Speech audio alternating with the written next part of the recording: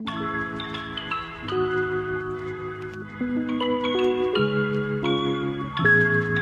guys, how's it going? This is Ray Alvarez. Welcome to my editing video.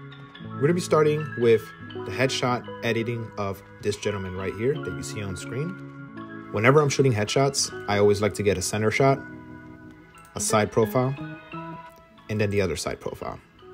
And the reason I do this is because one, everybody has a side. Not everybody likes both of their side profiles. So we have to select one.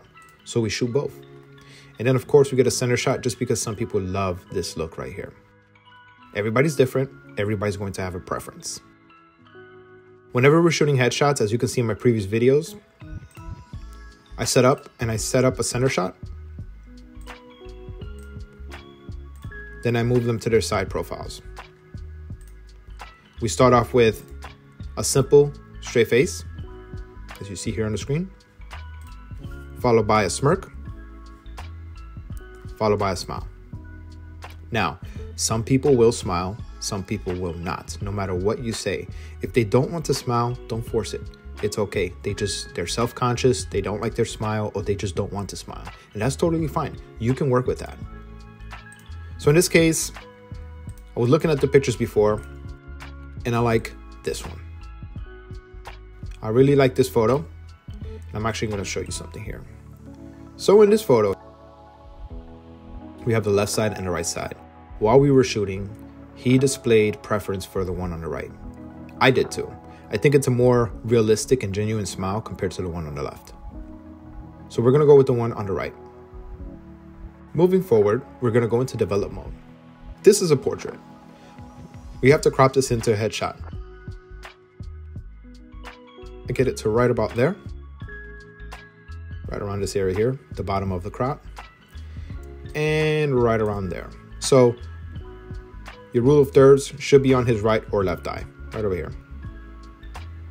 Now, keep in mind that they most likely will be posting this on LinkedIn or Facebook or any social media of their choice. Leave some wiggle room for them to highlight a circle around their face and upper neck region, just like this. If they decide to crop it in a little bit more, or maybe you do after post, feel free to do so. But for now, this is a good headshot crop. We're gonna do some color grading right now. We're going to adjust some sliders. So I'm gonna bring the highlights down just a tad bit, so that way the highlight on his nose and forehead don't show as much. Up the shadows just a slight bit. Now, the background seems a little bit too warm for my liking.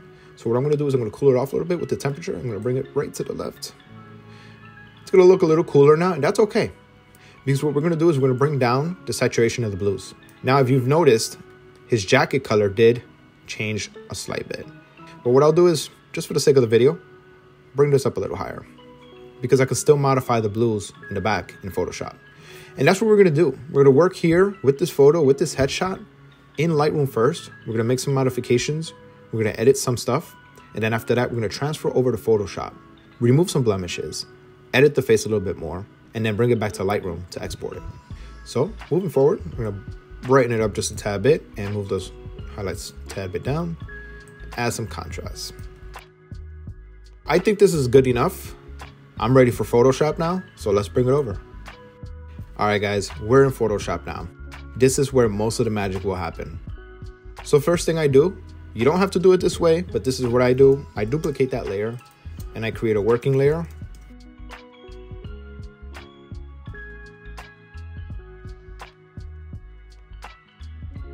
You never know what can happen during editing, so always have a backup. And since this is my working layer, I'm just gonna label it green. You don't have to label it green. You can make it any color you like. Just know that this is my working layer. So that's all it's letting us know. Also, while you're working, always save your work. It's very important. Three minutes later, five minutes later, always save your work. All right, so let's get into it. The first thing I'm going to be doing is I'm going to be using the spot healing brush. And what that's going to do, it's going to help me in removing blemishes, dirt, lint, anything that I don't want. We're gonna start off with this suit jacket. I'm gonna raise this up just a tad bit in size. The hardness does not to be that hard, so we're gonna bring that down. And I'm gonna zoom in so we can see what we're working with here. And we're gonna get rid of literally every speck of dust or lint that you see that you don't want in the photo. Start by doing that. One of the things I pride myself on is creating a clean image. I don't want to see anything. I want to make sure that it looks nice, full of quality. Any imperfections are gone. Making sure that everything is cleaned up very nicely. And you're to see the difference. And when you edit that way, you'll be proud of yourself. You really, really will. Sometimes I tend to overdo it, and that's okay sometimes. It also depends on the kind of time you have. Ain't nobody got time for that. If you want to spend a lot of time in your headshot, then feel free to do so. But I typically like to spend at least anywhere from 5 to 10 minutes per headshot sometimes less. But for the sake of the video, I just want to make sure that I show you guys my whole process. And if we have to take a little bit of more time to do, to do so, then we will. So as you can see so far, we've, we've removed a lot of lint and messy little areas that you'll catch technically if you're looking at the photo. Now we're gonna zoom out real quick. That's great. And check this. I'm gonna go to the backup and you're gonna remove the opacity of the layer and you can already see the difference of how clean it looks compared to what it was before. We're gonna move forward, doing that on his white shirt. We're gonna look for any imperfections. This spot right here is a little tricky. I'm not sure how I feel about this, so I'm gonna grab the patch tool and I'm gonna see if maybe we can quickly just fix that by doing that. You grab the, the area in question and you drag it over to an area that looks similar to it. And that looks way better than what it did a few minutes ago. So we're gonna show you the difference. That compared to that, much better, much, much better. We're gonna keep going. Um, since we're already here, I'm gonna do some areas of his neck. Now, I think this is where I'm overdoing it a little bit. Um, we really won't see this area. Nobody's really gonna care, but why not? So, edit to your liking. This area is completely blurred, so we really won't see much, but why not get the small areas that do stand out? We'll work on the backdrop later. All right, so far, so good. So, next step will be the teeth. We're gonna create a new layer and that layer is just going to be the selection. Now, I know that you can mask. Some people like to mask, and that is completely fine. But I do it this way. So I'm using my brush tool to simply color in some white on the areas in question, the areas I want to work on. Now, I need the opacity to be some, somewhat strong, but not all the way strong. All I need you to do is select the areas that look kind of tinted yellow or colors that you don't want to see. Now, if you notice here, there's somewhat of a gradient here. Let's lower down the size of the brush so that way it doesn't spill onto the lips because if the lips are somewhat yellow or the or Photoshop picks up any yellow areas of the lips, then it will change that color when we're modifying it. So let's make sure not to do that. And I think that's pretty much it right there. What we're going to do is we're going to remove the visibility of this layer, select that selection, go down here, and hit selective color. You're going to play with the sliders for the yellow and red options and you're going to lower down that yellowing. Make sure to make it look realistic. Don't do too much because if not, it will look fake. You do not want that. So in this case, I'll keep it there. Don't want anything red or pink, so we're gonna leave this right in the middle. And I'm gonna go this way with that. Let's go to the reds. Let's start, start off with the yellows. Raise it up just a tad bit. get rid of the magenta just a little bit. The cyan is what's really gonna help us out here. So we're gonna go this way. Let's try to see if we can brighten them up a little bit and that should be okay there.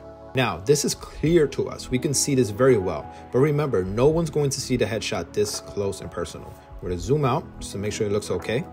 And now what we're going to do is we're going to lower the opacity of this correction because this is too white. Yes, people have teeth like this, but it's not real. It's not realistic. So we're going to lower it just a little bit to make it look more like him. So if you see the difference, remove, on, off, on, off. That's much better. in my opinion. In several cases, depending on the shadows and lighting, you might want to create a new layer. The opacity should be at overlay. And what that's going to do is going to brighten up the teeth. I'm not going to leave it for this photo. I just want to show you how to do it. So for the opacity, the strength of this brush, you're gonna use your brush tool with white. I want it to be somewhere in the 40s. Not too strong, not too light. Brighten up the teeth. In this case, I'm not going to keep that, but I just wanted to show you what you can do to a photo if you wanted to brighten up the teeth. So you can always play with it, lower it, make it higher. We're not keeping that, we're deleting it. Going back to the layer, save your work guys, control save.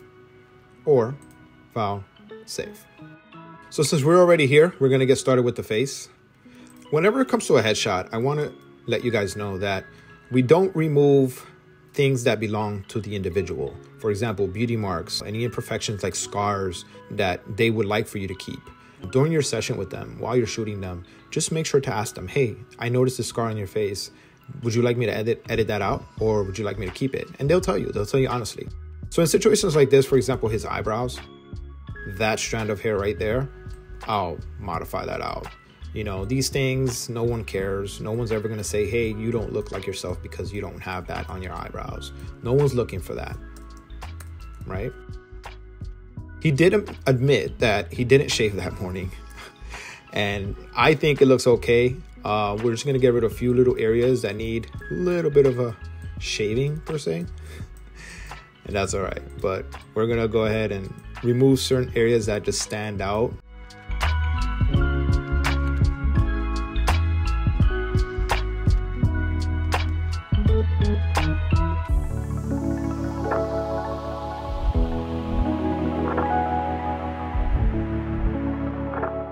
just removing little imperfections, little pieces of hair or anything on the face that just stands out to you personally that you want to remove.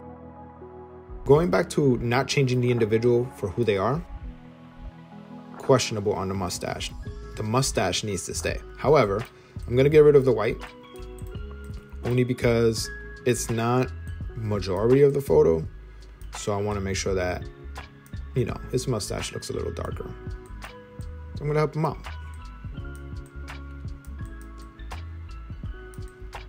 I'm not really changing who he is.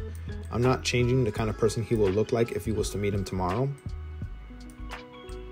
These things don't stand out. Now, if I was to change his the complete color of his teeth, if I was to change and get rid of all the wrinkles on his face, for sure, you won't recognize this man the minute you go to meet him.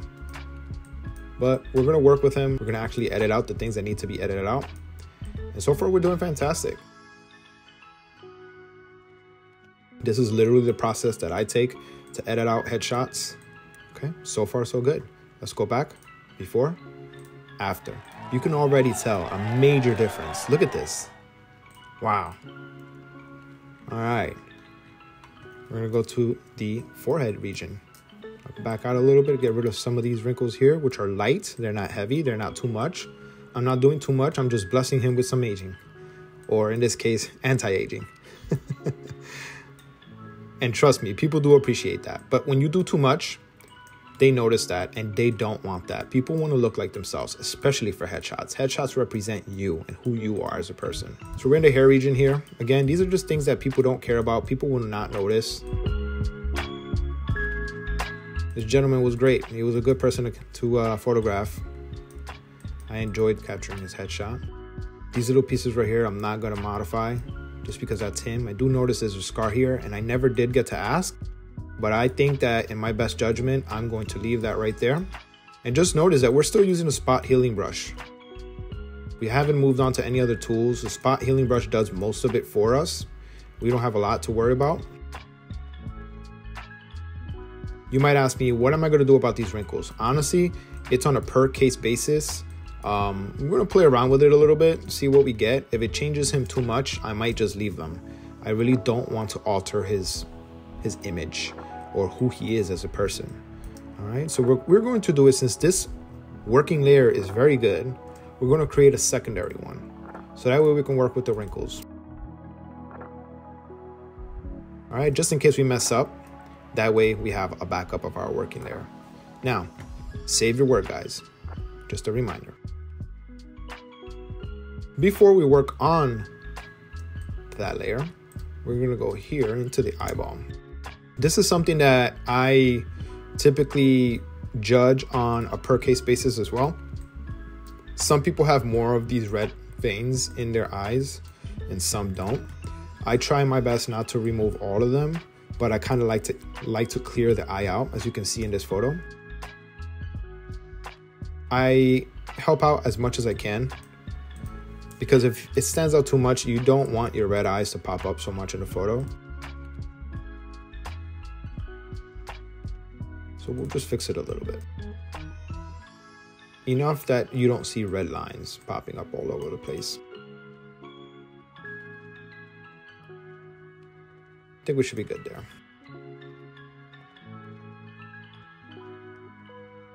Typically, on people's eyes, what I do is I brighten the iris. As you can see, there's a little bit of brown there. If I was to brighten this up, you're going to brighten the reflector up. And if you do brighten that up, it's gonna look too bright and it's gonna look too fake. So I might not do it in this case, only because he does have very dark eyes. So I might just leave it, but I might brighten the entire eye. So I'm gonna get my brush tool here in white, and I'm gonna use about this size. And I'm gonna go a light touch of 20 or 17.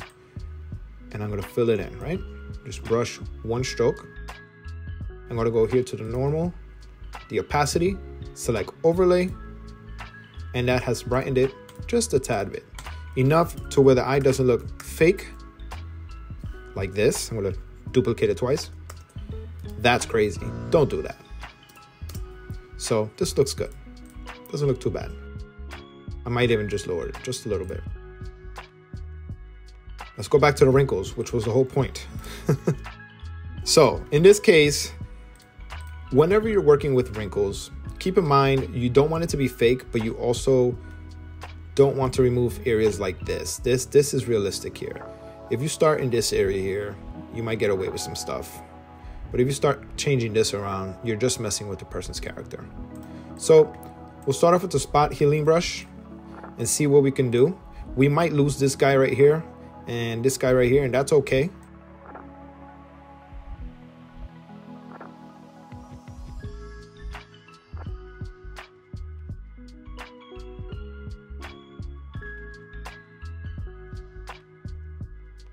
and you could even use a patch tool to kind of like move it out right? Like that. We've just tremendously lessened his wrinkles here on this area with those few strokes that we just did back to the spot healing brush tool and then when you see that it does stuff like this yeah just undo that don't don't go with that that's not realistic and there's other ways to do this. There's so many other ways to do this kind of work. This is just what I do as a quick fix. This is my process. It works for me. Uh, we're almost there actually, so I kind of like where we're going with this. I'm just gonna modify that little area right there. Zoom out. This area has lessened and we just need to kind of like blur this in a little bit because it just stops right there. So I don't want it to be so abrupt. What we're going to do is just kind of use a healing brush tool this time. I'm going to clone this area here and kind of like blur it out just a tad bit, not too much. Same thing here, kind of clone that there.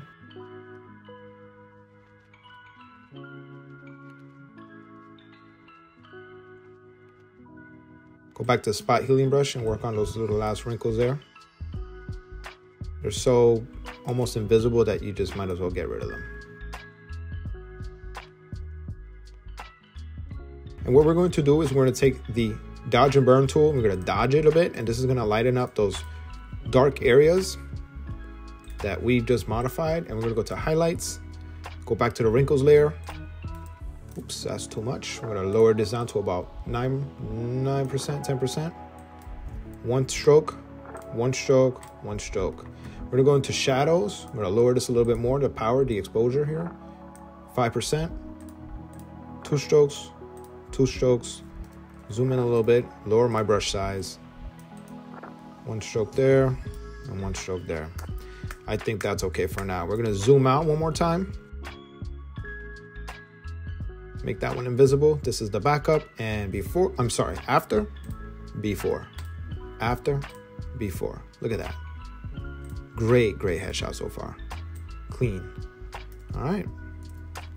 So now I'm just visually inspecting this photo to see if there's anything else I'm missing. And I can't see anything right now. Looking in this area, that area, just to see little other imperfections. I mean, if you really wanted to be a little picky here, what we would do is go back to the spot healing brush tool, make it a little bigger, and get rid of that section right there, just so it's level.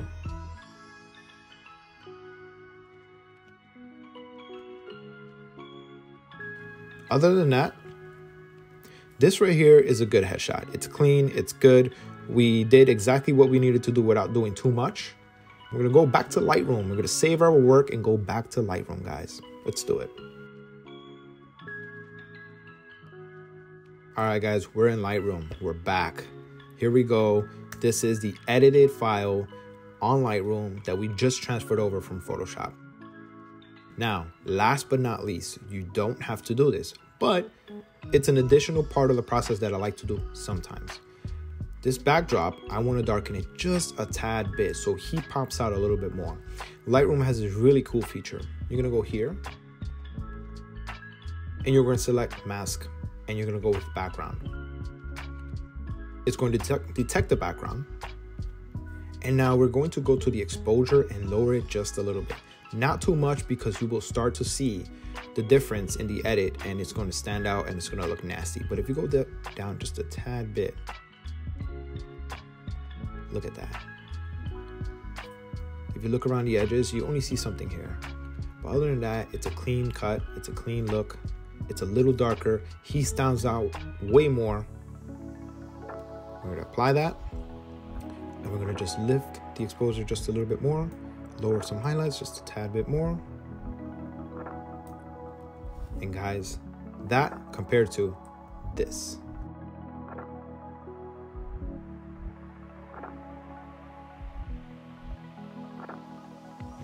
Wow. What a difference. This headshot here to your left looks perfect. So guys, there you have it. You have your headshot edited in Lightroom, in Photoshop, the Ray Alvarez way. I hope you enjoyed this video. I hope this was helpful for you. Start taking some headshots, practice this, practice more, and see how it works for your process, for your workflow.